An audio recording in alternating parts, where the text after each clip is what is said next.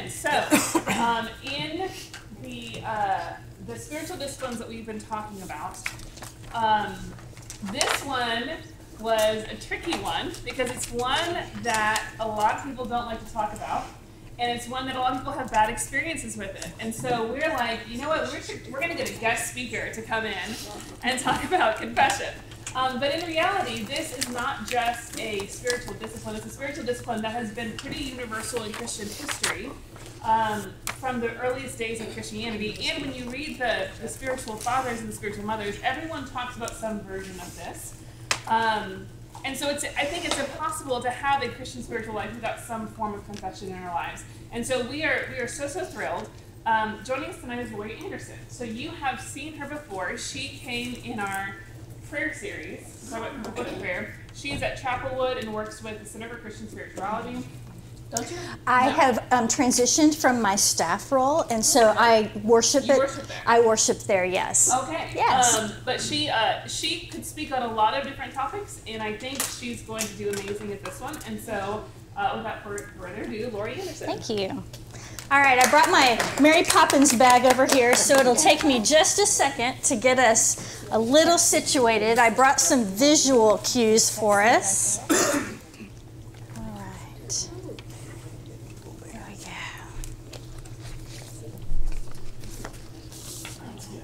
Oh, thank you for having me. It is wonderful to be in the room together. I hope y'all can hear me okay in the back. I know sometimes my voice doesn't carry as far as I would like it to. Thank you.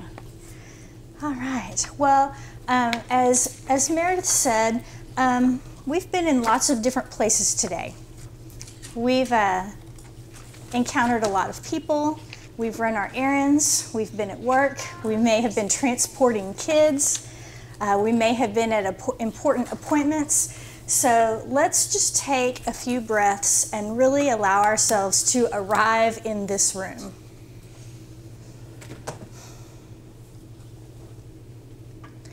And we get to allow ourselves to arrive in the company of others.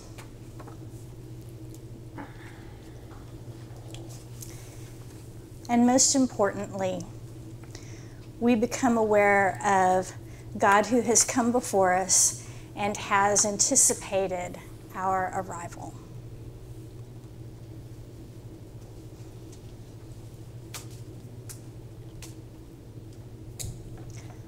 Lord, we offer you the gift of this time and this place. We come with grateful hearts. and we ask that your spirit be our unseen guest this evening. And we make our prayer in Jesus' name. Amen. Amen. Confession and journaling. I think it's um, going to be a very fruitful pairing for us. I thought we would start with, it looks like it's going to be on your last page. I've got Psalm 51. And floating around is a prayer book called Psalms for Praying by Nan, Nan Merrill, and that's where this um, where this version of Psalm 51 comes from. And this is our classic psalm for confession. You can see here that there's some regular print and then there's some bold print.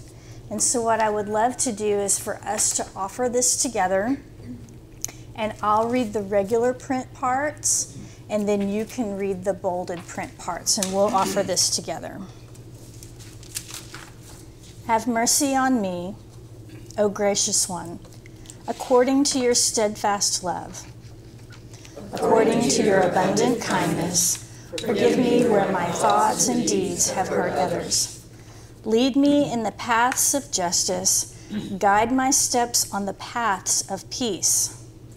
Teach me that I may know my weaknesses, the shortcomings that bind me, the unloving ways that separate me, that keep me from recognizing your life in me.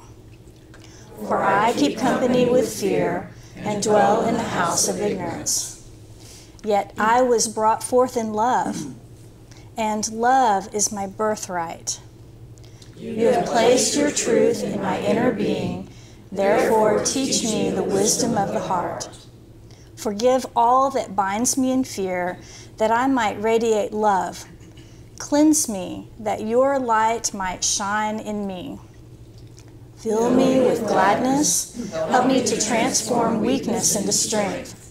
Look not on my past mistakes, but on the aspirations of my heart. Create in me a clean heart, O gracious one, and put a new and right spirit within me. Enfold me in the arms of love and fill me with the Holy Spirit. Restore in me the joy of your saving grace and encourage me with a new spirit. Then I will teach others your ways, and prisoners of fear will return to you. Deliver me from the conditions of society, most gracious one. Oh, keep me from temptations, that I may tell of your justice and mercy. O gracious one, open my lips, and my mouth shall sing forth your praise. For you do not want sacrifice, you delight in our friendship with you. A sacrifice most appropriate is a humble spirit, a repentant and contrite heart, O merciful one, is the gift you most desire. Let the nations turn from war and encourage one another as good neighbors. O most gracious and compassionate friend, melt our hearts of stone, break through the fears that lead us into darkness, and guide our steps into the way of peace. Amen. All right. It is, I mean, it's so good to, to read and offer and pray Psalms together. Um, a few weeks ago, I had the opportunity to retreat at a Benedictine monastery in New Mexico. And one of the things that's very striking to me is that they observe in this particular monastery, they observe four times of prayer every day. And so when we're on retreat, we join them and they pray the Psalms four times a day. And they've been, at this monastery, they've been doing that for 60 years. And it does my heart so good to know that right now there's a group of monks in New Mexico. It's probably very close to their Vespers service, and they're going to be doing the exact same thing that we're doing right now praying Psalms together.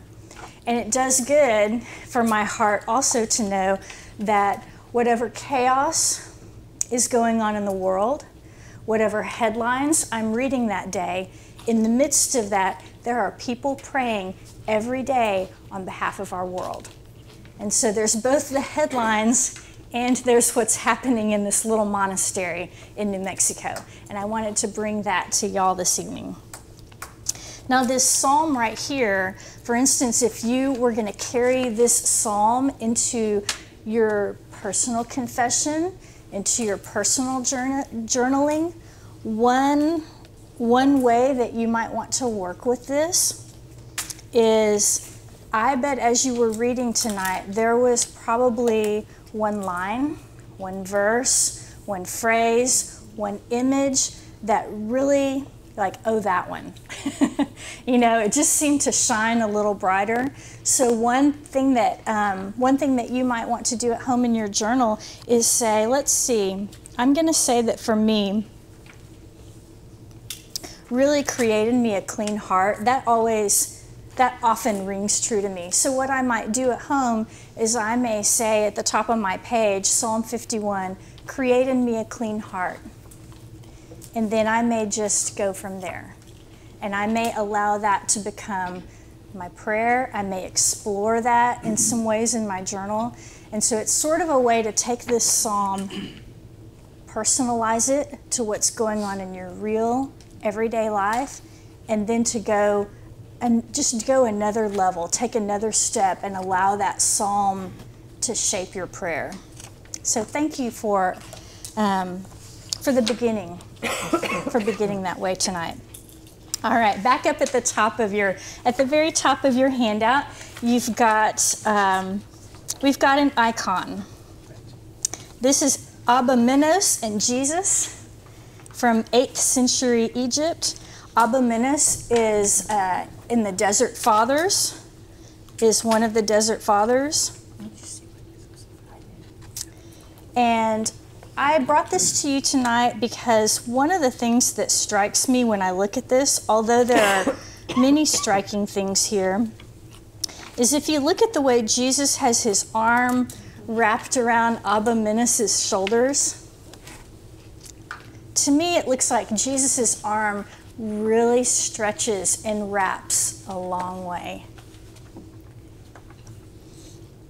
And sometimes I imagine that Jesus' arm stretches and wraps around my shoulders too.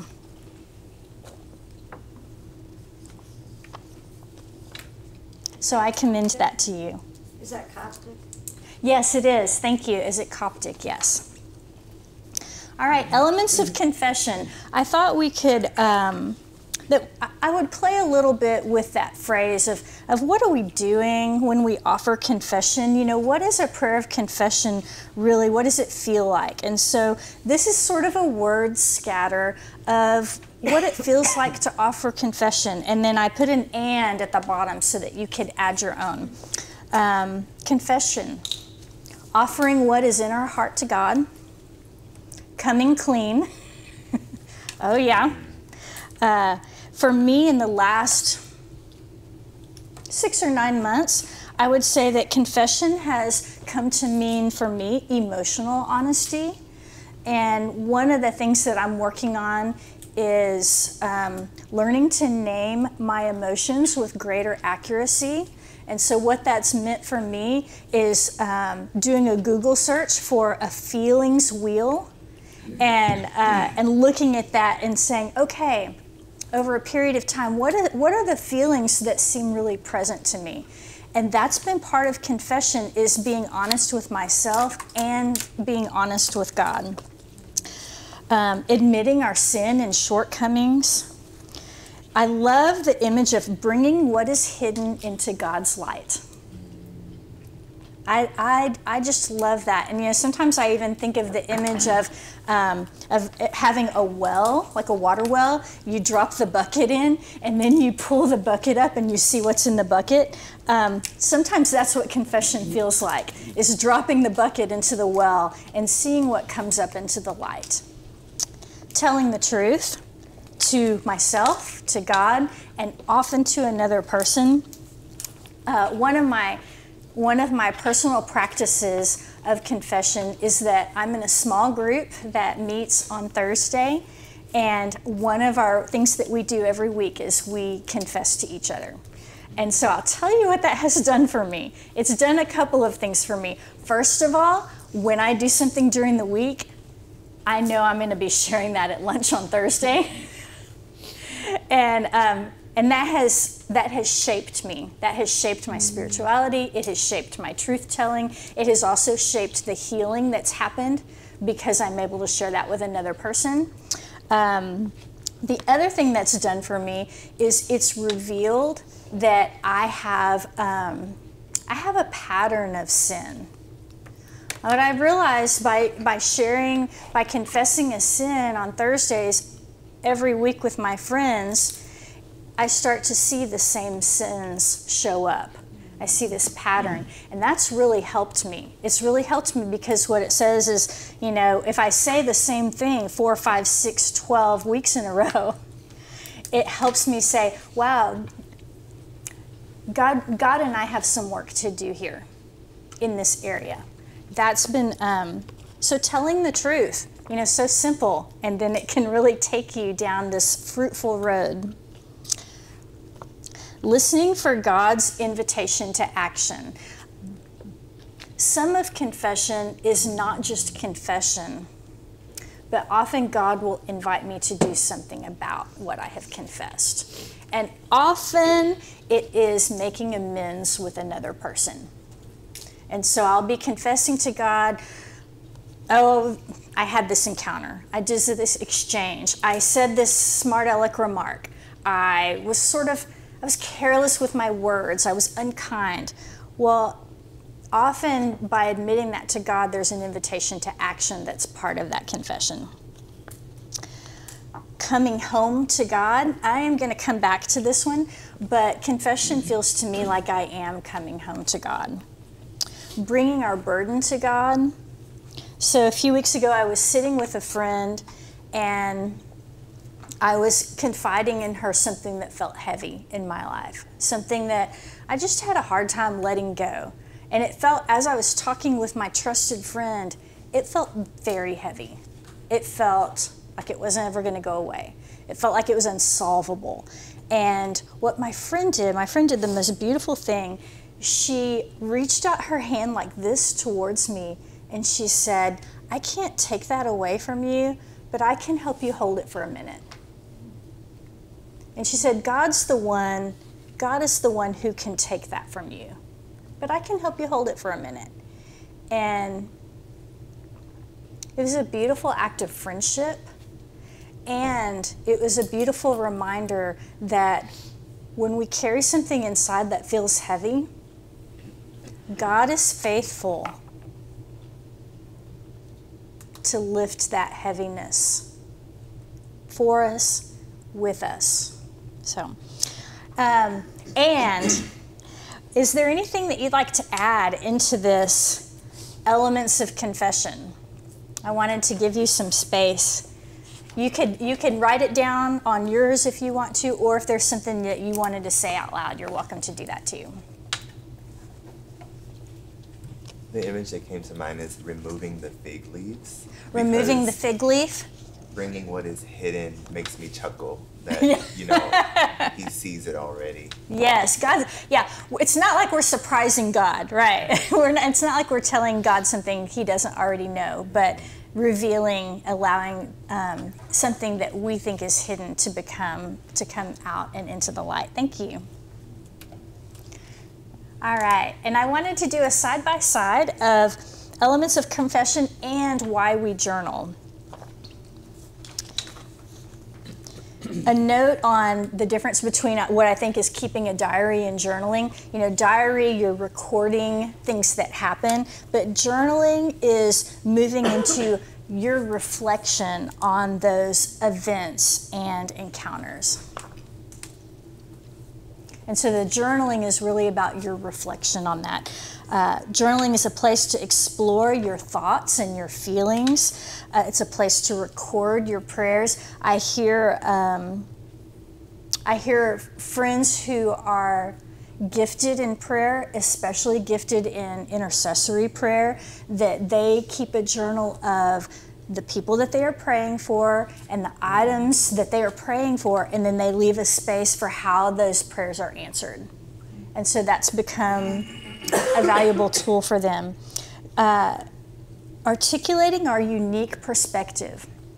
And I included this one, especially the word articulate our unique perspective, is because there are so many wonderful writers and there are so many wonderful Facebook posts from inspirational speakers and poets and theologians and um, and pastors and um, speakers. There's a lot of really good stuff out there. There's a lot of really beautiful words.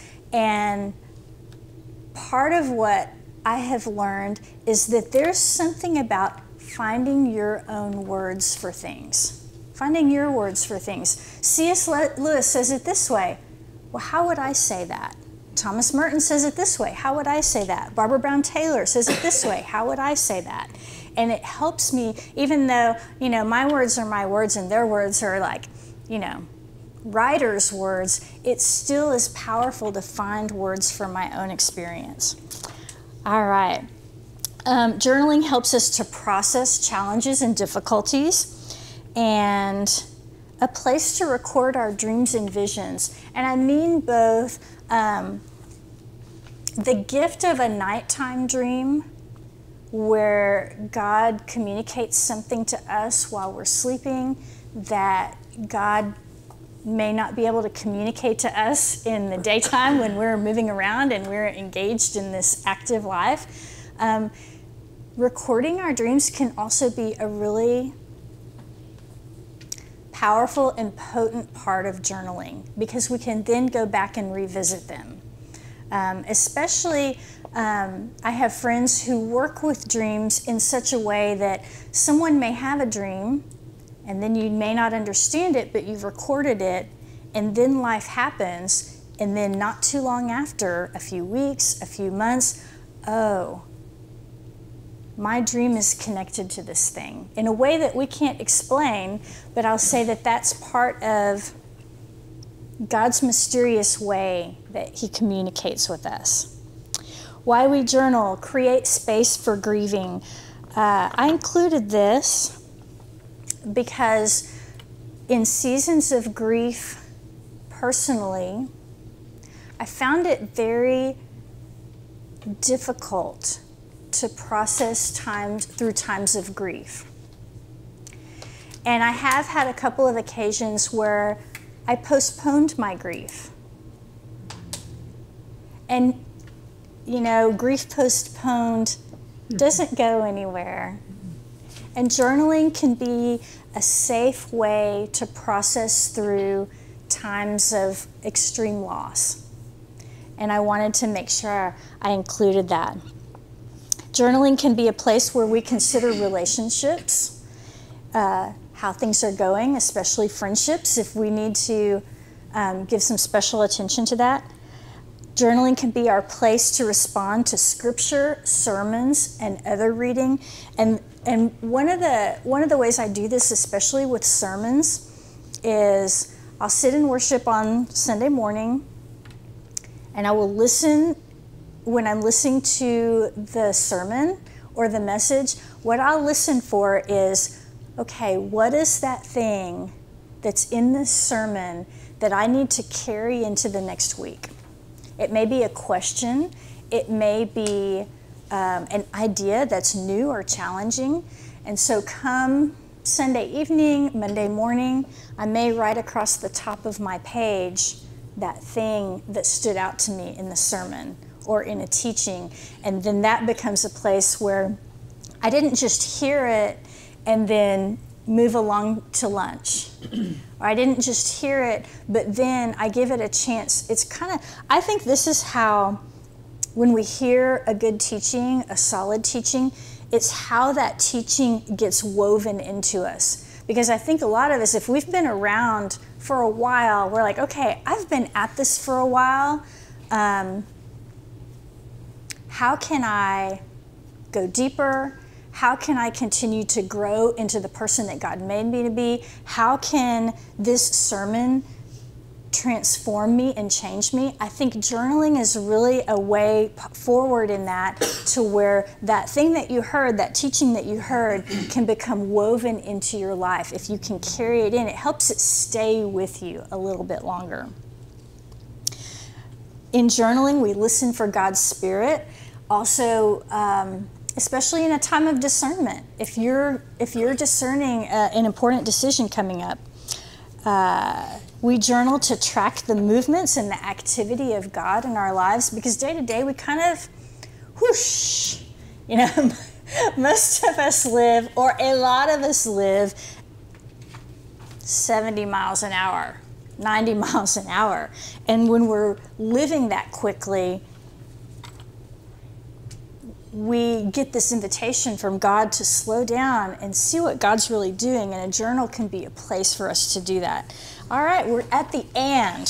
So, what and? Um, you can write that for yourself, or if there's something that you would like to say out loud about the and part of journaling. I have a question. When uh, journaling, um, do you go back like the last week, the last month, and reread? And then what do you do if you've had, you know, 15 years of journals? Mm-hmm. How, how do you live life and, you know, can, do you do you revisit or do you re, do you note dates that there was a particular impact that Mhm. you then can go back and cross-reference or? Well, I, I, I'll answer that. It, the question is, do I do I go back? How do I go back? When do I go back? Um, I don't go deep back. I don't go way back. Um, but I have a smart friend to give it to my smart friend. On the front page of her of her of her journal, she she makes a table of contents and so as she, I know, right? I, I love having smart friends. So what she'll do is she'll say, you know, if she has a dream and she's trying to record her dream, she may say, you know, October 10th, dream, you know, donkey dream, or you know, whatever. Um, so that's that's one way. And also, um, I guess just dating, you could go back for periods of your life. I don't go back more than about two years. Yeah just when I'm referencing. Um, I do have a I had a journal three or four years ago, and uh, I was in a group, and we did what are the desires of your heart. And so I journaled a list of what are the desires of my heart, and I've gone back to that a number of times because to me that's a core a core list that I want to keep up with and revisit. Does that does that help a little Yes, bit? please. And also, um, I've also instructed um, a friend who knows where my journals are at home. So when I croak, I'm like, "Hey, go home, get this box, and throw it away for me." So, so I've also put my safety measure in there. Yeah. All right. Let's look at a couple of passages on confession.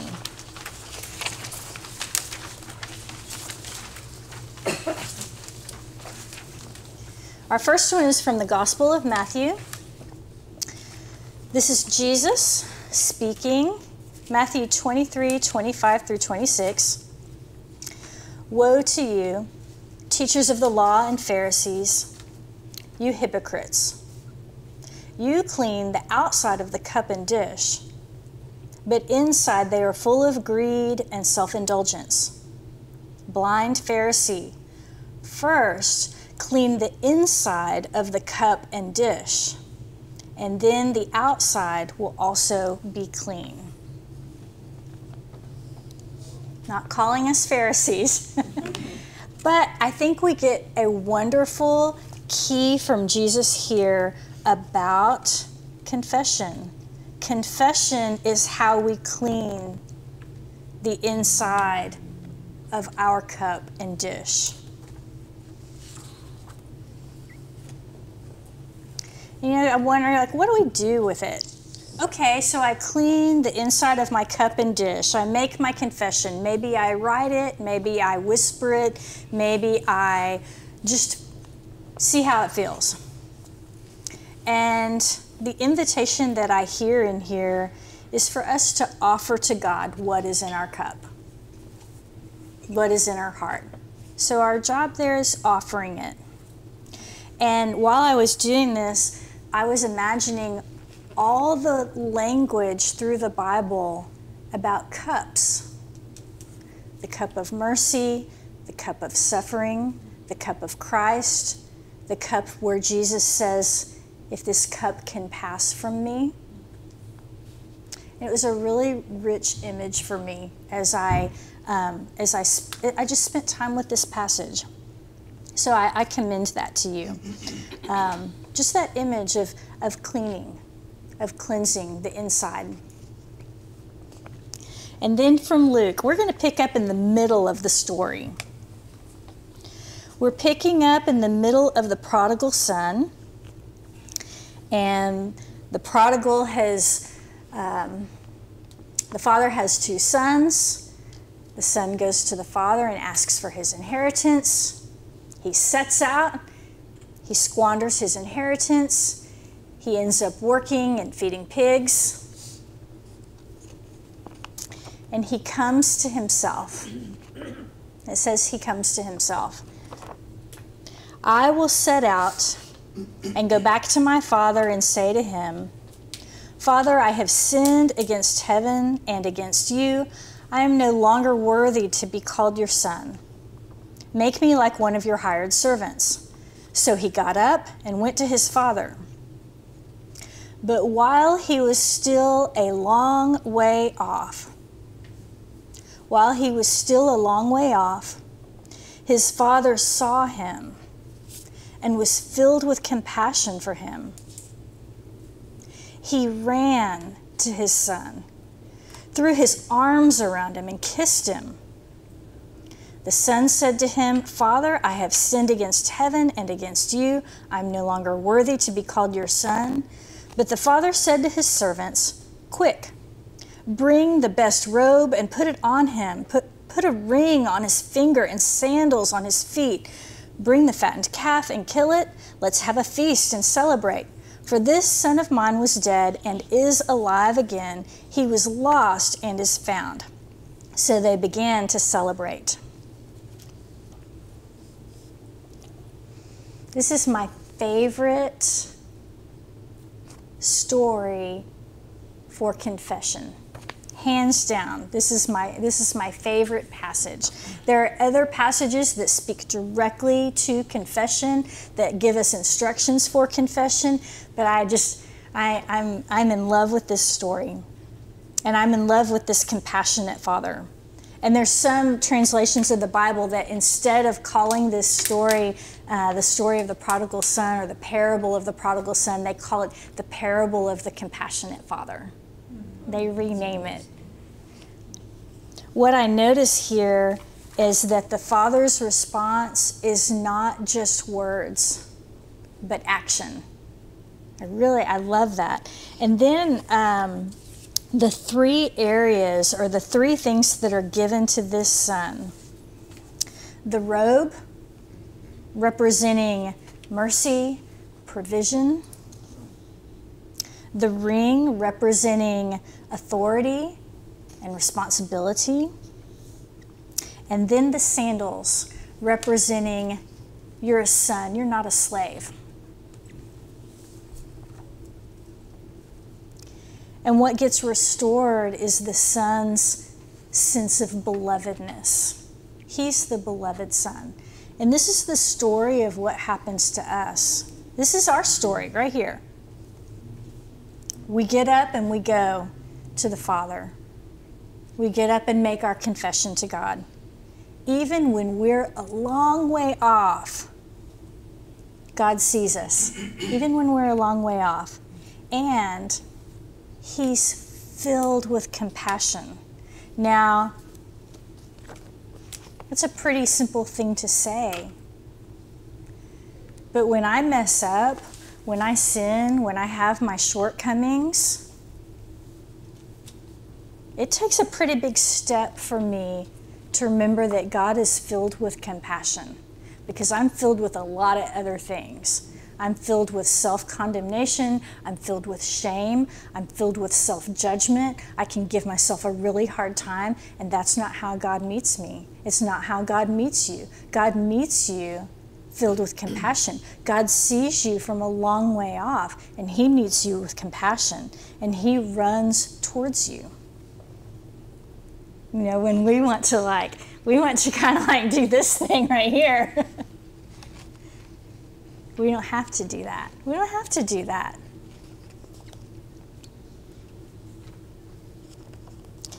My friend Katie shared with me how she how she prays this passage.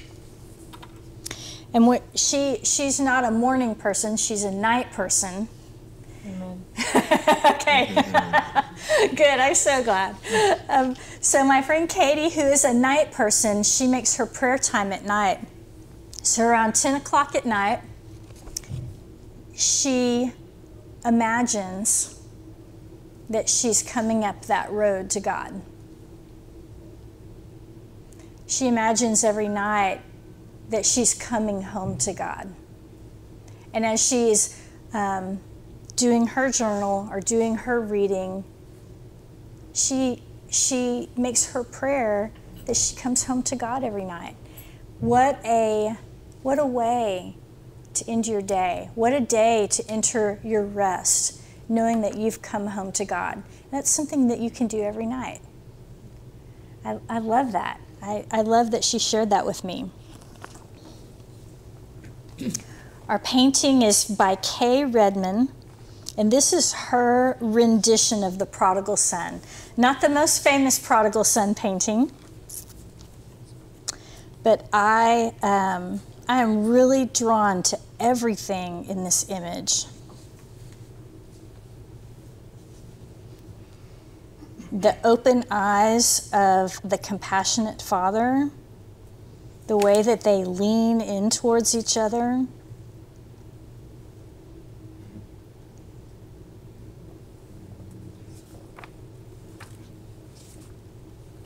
The fattened calf doesn't look all too pleased. Mm-hmm. I know. He's like, oh Lord, what's getting ready to happen here? He's giving a little side eye. yeah. And the brother. Yep, there's the brother still out in the field. So there's a lot here. There's a lot here to work with. Yeah, There's also a bird coming down, hmm. there sure is. might be the Holy That's right, our Holy Spirit dove up there in the left hand corner. Yeah. Hmm. It's a really nice one. hmm And even more than, um, even more than this being uh, a wonderful painting, um, I've actually made a prayer card out of it uh, that I use at home. And sometimes I'll just sit with this card and my eyes will travel around the card and, and that will spark a prayer in me. Who am I today? Who am I? Am I am I the older brother out here working my tail off? Am I the um, you know, there may be a day where I feel like the cow. Great thing about this parable is who am I this minute? But yeah, Yeah. who am I this day? this Who am I this minute? Um, and and can I um, can I continue to grow towards being that compassionate father? So, all right, I, I just wanted to pause, make another pause here, um, to see what connections you're making, a comment that you have, a reflection that you're having.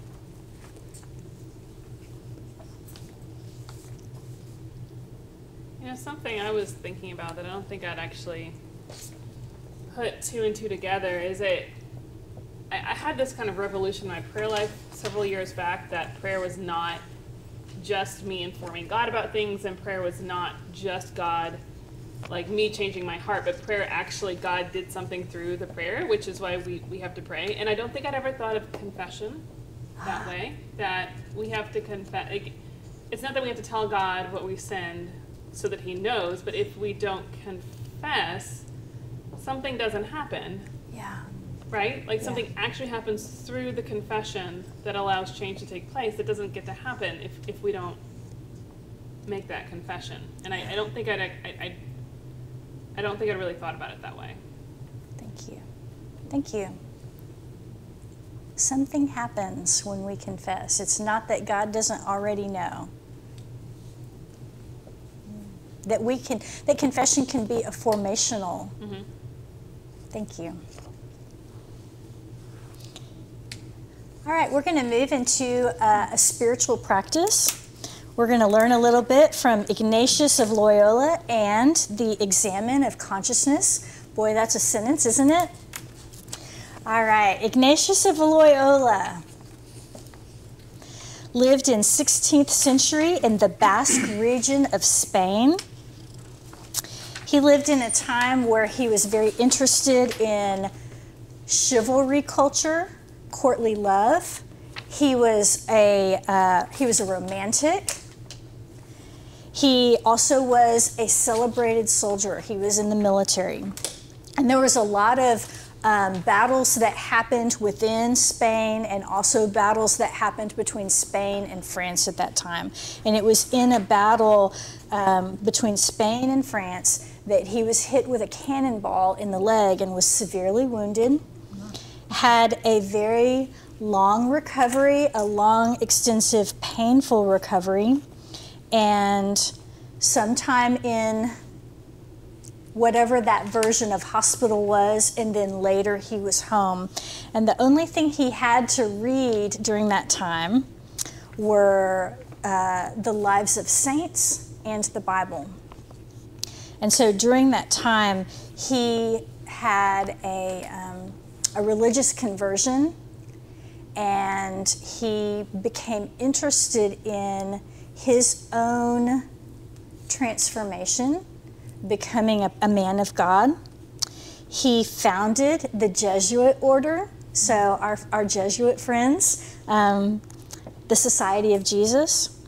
And then his landmark book, his landmark book is the Spiritual Exercises, and they were that book was really, or those exercises were really an innovation of that time. And they're designed to get closer to God, to form Christ in you.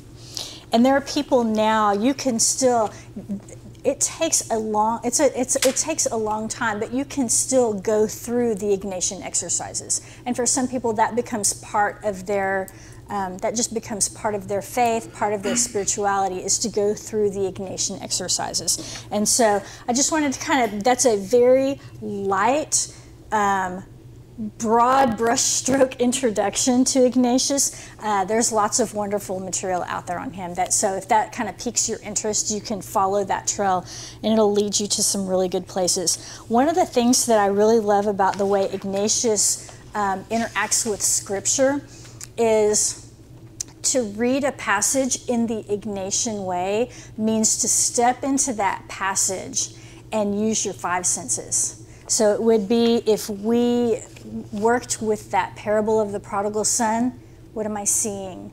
What am I touching? What am I smelling? What am I hearing? It's as much as possible putting yourself in that encounter. And then we've mentioned too, who am I in this encounter? Where am I? Am I close up, part of the action? Am I one of the people? Or am I like the moon? you know, am I watching it from a distance? So that's, um, that's something to love about Ignatius. Here's his other, here's another contribution, and this is the one that, um, that partners, that goes with both confession and journaling, is his examen of consciousness. And this portion, um, I borrowed and adapted from a devotional written by um, my mentor, Dr. Jerry Weber. And so I, I it, it's so well put together here that I just wanted to bring it to you.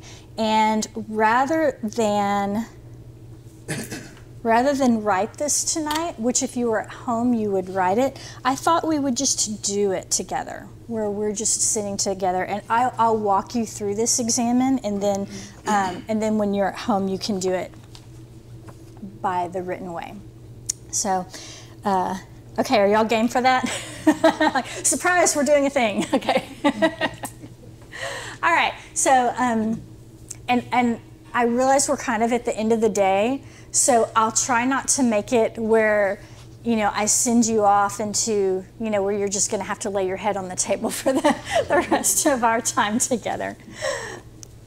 All right. So if you would. Um, I can see you're already sitting comfortably, but if you need to make an adjustment, you know, if you need to like resituate yourself in your chair, um, and if you would like to lightly close your eyes, if you'd like to, you can. You don't even have to follow along with your words. You can close your eyes. You can put your hands down, and um, and we'll just enter this time together.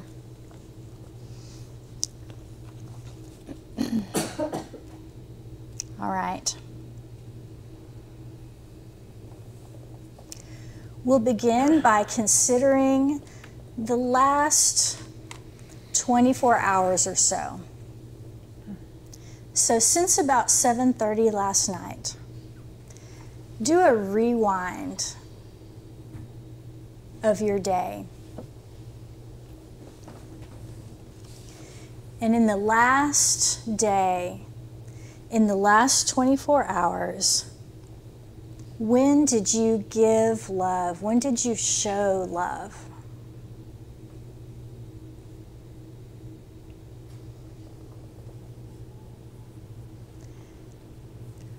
What experience did you have that felt energizing, that felt purposeful?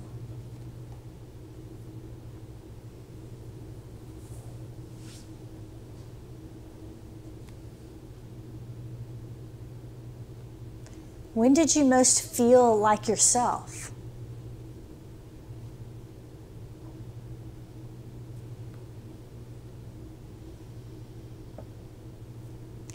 And over the last day, when would you say you were most aware of God's presence? I know God's with me. When was that?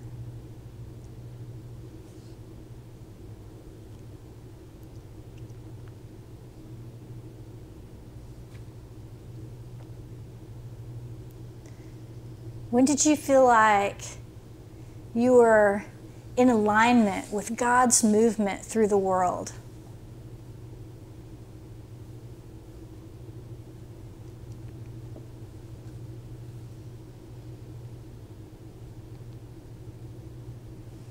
And what gift or what gifts did you receive from God over the last day? What felt like a gift from God?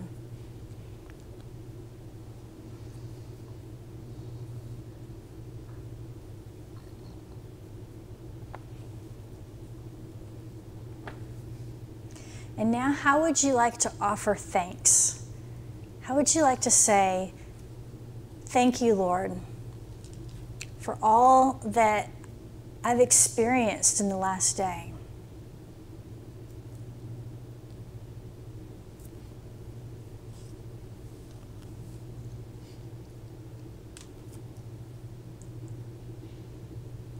And we keep considering the last 24 hours the last day or so? And when did we feel the absence of love?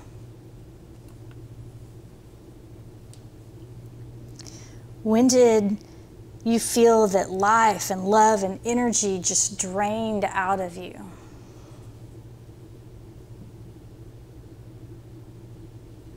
What moment, in what moment did you feel least like yourself? I didn't feel like myself when this was happening.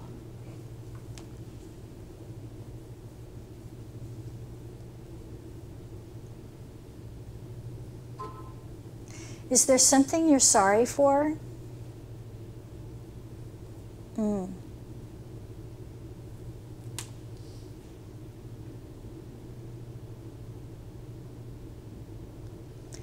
Was there a moment when it felt like you were moving against the flow of God and God's purposes for the world.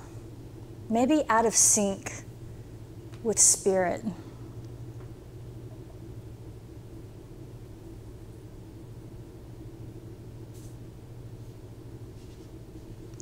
And when was it you were unaware or you just didn't notice God at some point during the day?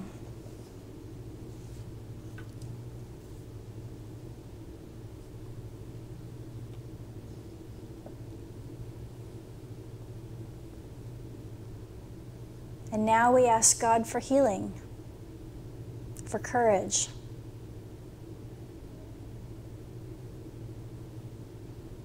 Mending.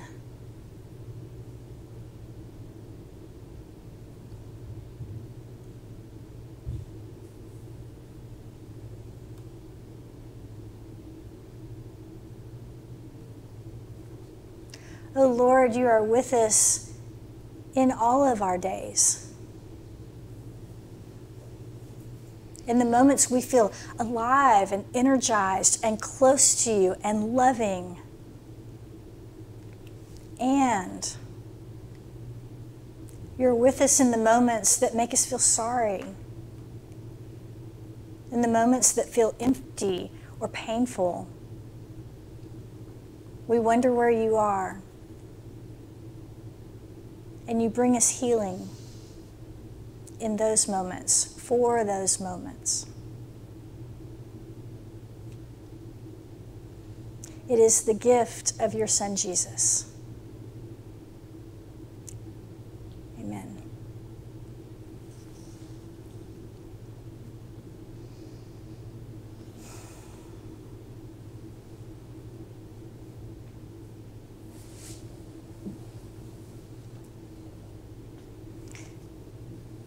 The Ignatian words for this consolation and desolation.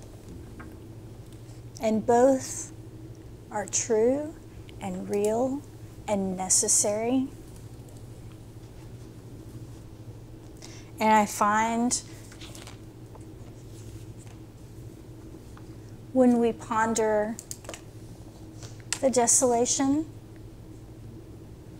it's so important to remember the consolation because there are both every single day.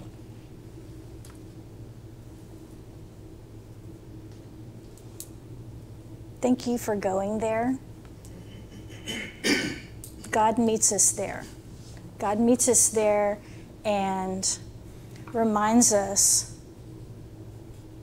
that we are connected to God with a connection that can't ever be broken. We're connected to God with a cord, with a thread that cannot be cut. It can be tangled up, but it can't be cut or broken. And we have that assurance. And sometimes when I do this at home, um, I, I'll put my hand on my heart. You know, when I have a hard time focusing or when I'm distracted um, or I have a hard time going there, I put my hand on my heart. It helps me get there. Um, so I, I, commend this to you as, as a practice. Um, a couple of the books that got passed around, one of them is the um, Sleeping with Bread, the Matthew, Matthew Dennis and Sheila Linn book. Um, Sleeping with Bread is their book where they explore more fully the examen. Also, I love them because they're um, short, simple, illustrated, and so I find them very accessible. So that's the Sleeping with Bread. And his children's or their children's book is Making Heart Bread. So if you have children in your life, um, children, grandchildren, nieces, nephews, neighbors, um, I commend that book to you um, because it helps children with the examen. And part of our family life growing up, the way that we sort of worked this with um, at home when we gathered for a meal at home is what was the happy part of your day? What was the sad part of your day or the hard part of the day? And um, that helped us as a, as a family. And even, you know, now I'm an empty nester now. So um, my, my husband and I will do that from time to time. Hey, what was really great about today? Or what was really hard about today? Just as a way of um, is being community with each other. Uh, a couple of other things about, good, a couple of other things about the examen is we did this for one day.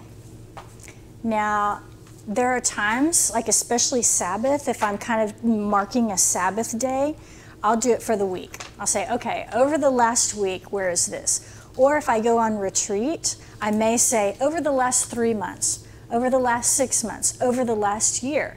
And the benefit of um, examen for me in that way is I get to see patterns. I get to notice patterns. Okay, when when is my um, my feeling of consolation? Uh, when I'm connected with people that I love and friends that sort of get me, man, that's it. So, what do I do? If I notice that that's a pattern, if I start seeing a pattern, that means I need to make more time and space for that. If I see, gosh, I really didn't want to go do this thing I felt like I had to go do, and that sort of repeats, that tells me that I perhaps should not do that as often.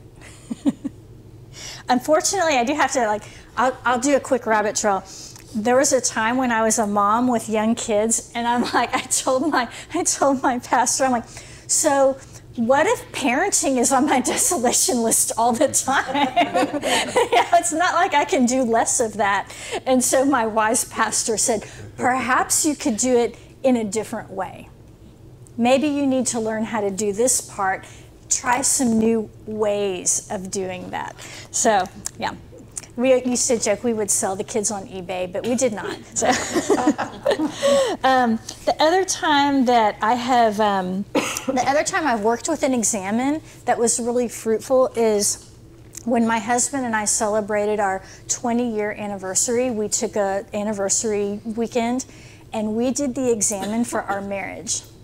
And so I sent him off and I went off and I and, and I said, okay, over the last 20 years, what have been when we felt closest to God, when we felt in sync, when we felt like things were really good marriage wise, just you and I.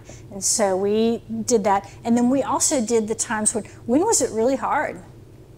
Like, when was our, what were our obstacles? And then we got together, we spent some time separately, and then we got together and we shared our list. And, um, it was it was a it was a real bonding moment for us to reflect to spend that time reflecting and say wow look at all all the ways that god has been um, with us in the last 20 years look at all the things that we have experienced together over the last 20 years and to give thanks for that and to ask healing for that. So there's a lot of ways that the examen can be part of what you do. All right. Couple of i wanted to include a couple of prayers just as sometimes it's helpful to um, did you have a question? Or no okay. Um, sorry. Um, sometimes i find it helpful to sort of prime the pump with a prayer that already exists. Like okay i get it. I think i'll try confession in my journal but now i don't know what to do. Uh, i mean which i i've been there which is why i included these. Uh, the first one is from the Book of Common Prayer, and we'll recognize it uh, a lot of this language from our um, the prayer that we say when we're consecrating communion when we gather for the Lord's Supper. Uh, most, most merciful God, we confess that we have sinned against you in thought, word, and deed, by what we have done and by what we have left undone we have not loved you with our whole heart. We have not loved our neighbors as ourselves. We are truly sorry and we humbly repent. For the sake of your Son, Jesus Christ, have mercy on us and forgive us that we may delight in your will and walk in your ways to the glory of your name. So, this is a very inclusive prayer of confession. And there are lots of stopping points here. You don't have to hurry up and pray this. And there may be on a particular time that you may pray it, there may be something that especially stands out to you as, oh, this is where I need to just I need to I need to stop here for a minute. I need to stop here for a minute and and there's more here. I uh, I met uh, an Episcopal priest earlier this fall, and, and we were talking about liturgy. And do we have any um, Episcopals? Like, I grew up Episcopal, or I've worshiped at an Episcopal church? Okay. So, one of the things that this priest taught us about their liturgy is that when the people offer their confession, the priest offers words of comfort, that that's part of the liturgy. And I was really excited by that. I thought, because that's exactly what we need when we have confessed is the words of comfort. And I think in the Methodist, in our Methodist circles, they may be words of pardon, words of assurance. And, but I, I did love that the Episcopals say comfort, just straight up comfort, because yes, appreciate that. This, uh, this next prayer is attributed to Mary Stuart, the Queen of Scots. And I just return to it all the time. It also some really beautiful stopping points for us. Keep us, O Lord, from all pettiness. Let us be large in thought, in word, and in deed. Let us be done with fault finding and leave off all self seeking. May we put away all pretense and meet each other face to face, without self pity and without prejudice. May we never be hasty in judgment and always generous. Let us take time for all things. Make us grow calm, serene, and gentle. Teach us to put our action teach us to put into action our better impulses, straightforward and unafraid. Grant that we may realize that is it is the little things of life that create differences that in the big things of life we are as one. And, O oh Lord God, let us not forget to be kind. Amen. It's really beautiful. It's so beautiful. And I find that this leads me to confession. I don't even have to get past the first line. Lord, keep us from all pettiness. That's going to lead me right. That'll lead me right into confession. I may not even make it to the. Know. Let us be large in thought. Let us be large in thought. Yes, because I get in trouble when I get small. Mm-hmm. Yes, thank you. All right. Well, I, I'm so happy that I have just a moment for. I have down at the bottom of the last page. First of all, I've noted the books down there for you. Um, the books, I, I said something about sleeping with bread. I said something about making heart bread. Sacred Space, um, the prayer book, uh, that is a Jesuit prayer book. That's the one that I use every day. They have a beautiful outline that moves you through prayer and includes um, a section that would allow for um, confession. And then this openings book. Um, before Casey invited me to come, one of the things that I really I really like about that openings book is that it has a prayer practice that and the prayer practice around January February was journaling. So I was like, wow, that's not a coincidence, you know. and so anyway, I really appreciated that. And this last one, Psalms for Praying, we prayed that Psalm 51. That's where that came from. This bonus content from Madeleine L'Engle, I couldn't resist bringing this to y'all because often when I confess, it has to do with difficult people in my life. it just does. I can't tell you how often I'll end up because I just sometimes I just don't know how to be. I just don't know how to be sometimes, and I, you know, and and so my confession will end up with I just don't know. I, Lord, I don't know. I don't know. And so this this little piece from Madeleine L'Engle, it makes me smile, but it's also I've put this one into works. Here's what she says. We must bless without wanting to manipulate, without insisting that everything be straightened out right now without insisting that our truth be known.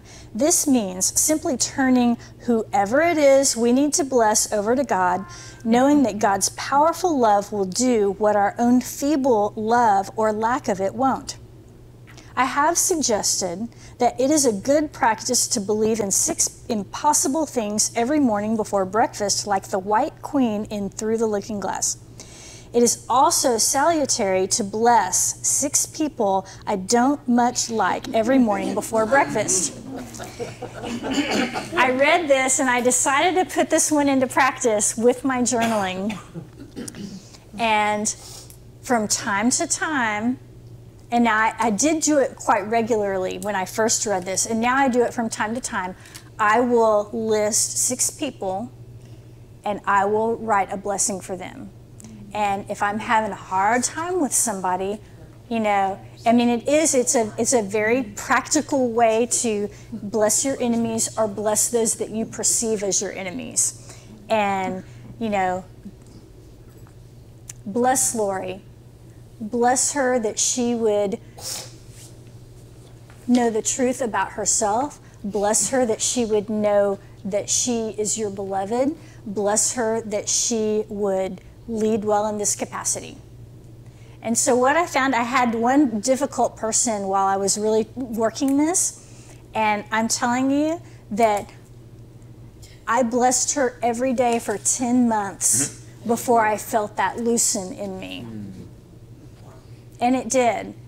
But it's the regular blessing. And what would I do? I would get frustrated and and I would get frustrated, but then I'd say, well, gosh, you know, like I don't know why I'm getting frustrated because I'm just going to get up and bless her tomorrow morning. I mean, you know, but it did something in me. Blessing somebody that I considered an enemy did something in me, and and God worked that. And so even though this is sort of a little light-hearted thing, um, I'm telling you, if you kind of struggle with difficult people, it's gosh, it's just something you can do. You know, and sometimes we just need that one little thing to do.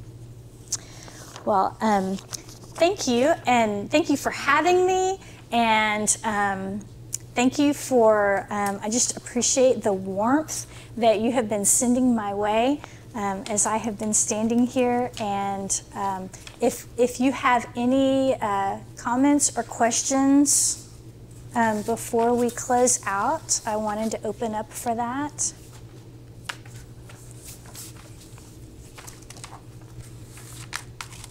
I just want to thank you for that examen that we did all together about consciousness. And it, it brought me to tears today, it made me conscious of all the things that I did and that I didn't do. That's very, I'll, I'll keep doing that. Thank you. Grateful. Thank you. Right. Thank you, Lori. Meredith, would you like to close us out? Okay. Thank you so much. Let's, let's close out in prayer. God, we are so, so grateful. We're grateful for this evening. We're grateful for Lori's willingness to come and share with us. And we're grateful for this extraordinary offer that you've made us that every time we come to you in confession, you run toward us and greet us and pull us back into an embrace. And so, God, as we go out into this evening, go with us. Pull us into your arms. Keep us ever close to your spirit and your heart tonight that we might know in our soul of souls that we are never alone. This we pray in the name of the Father, and the Son, and the Holy Spirit. Amen. Thank you guys. We'll see you next week. Very nice.